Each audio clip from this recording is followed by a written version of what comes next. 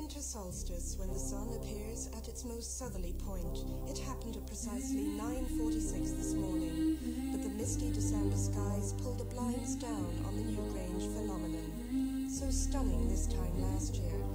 At dawn, on the days either side of the solstice, if the weather's clear, the sun penetrates the passage grave and throws a beam of light along the chamber floor.